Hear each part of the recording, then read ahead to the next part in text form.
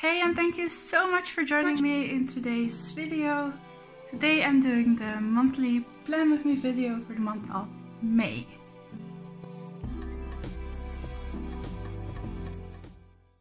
I will be doing this in between study breaks, so I hope the video will turn out okay.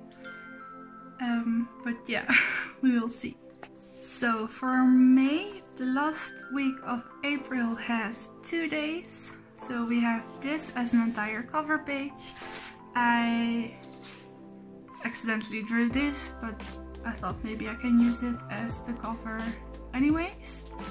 Maybe I can just leave this these lines in the cover and just incorporate it somehow. And I already put in this quote with washi tape so I can take it out easily because I didn't want to forget I wanted to use this quote. Then here we will have the monthly spread and my check-in page will be here because the first week of May has five days so that fitted nicely onto this page. So yeah, as usual, I don't really have an idea. Let's just get started. and the quote goes, It's okay if you're burning with anger or sadness, or both. It is necessary for you to collapse so you can learn how phoenixes are reborn when they burn and rise again from the ashes of their existence.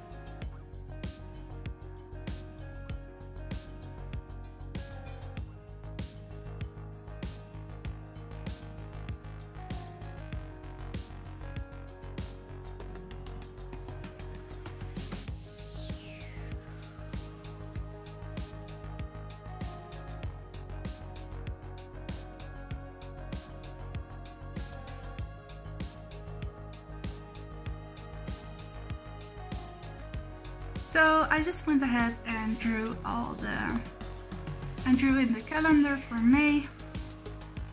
We have two tiny squares to decorate and then the rest will be small decorations. Let's just see how we can do this.